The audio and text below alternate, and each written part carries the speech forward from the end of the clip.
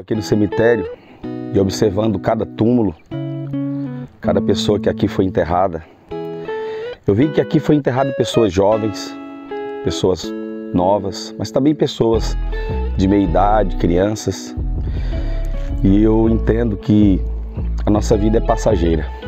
Aqui, ó, muitos sonhos, muitos projetos, muita esperança de vida. Porém, a morte bateu porta e deu um fim nos seus sonhos e nos seus projetos.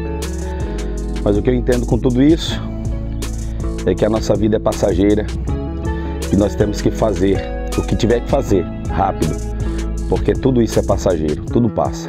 Ame enquanto você pode amar, abrace enquanto você pode abraçar, diga a essa pessoa perdão e sonhe, ouse sonhar, mas sonhe correndo atrás dos seus sonhos, dos seus objetivos rápido, porque o lugar para onde nós vamos não existe esperança nem sonho a sepultura, mas porém para o servo do Senhor, para aqueles que caminham debaixo de um propósito, a vida é só uma passagem e a morte é a passagem da vida para a vida eterna. Que Deus abençoe. Fica firme em oração, buscando a Cristo como seu Salvador.